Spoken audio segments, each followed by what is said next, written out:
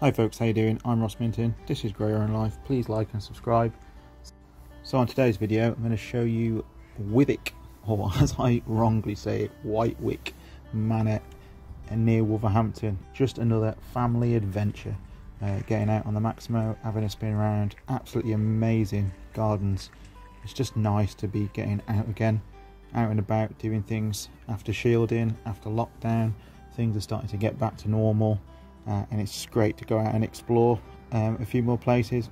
I'm still itching to go fishing and I've been putting it off and doing other things, but just being able to go to the National Trust and have a scoot round and see the amazing gardens uh, is awesome. So uh, enjoy.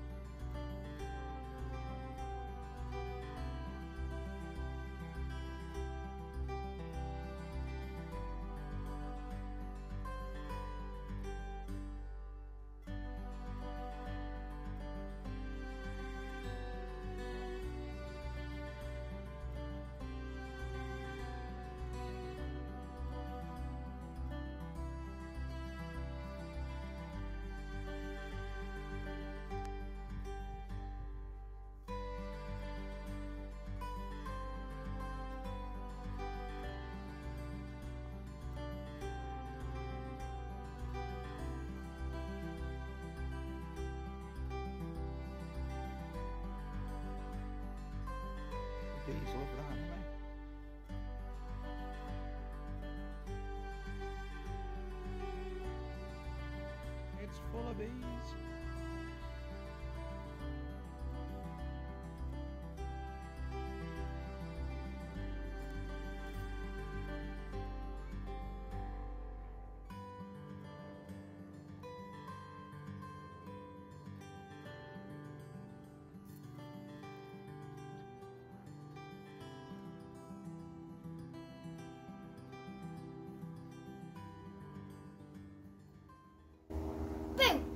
You're right, Snugs. Now looking at the house. It's pretty, isn't it? Looked like it had broken windows. I know it's very old stained glass and leaded glass. These ones here look like how old these are up there. They've got they've got pictures in them. Just pointing at the face. Ross, Which face is that? see at the bottom of the. Yeah, the thing. Is that who in this, ha- this house? Do you see the face?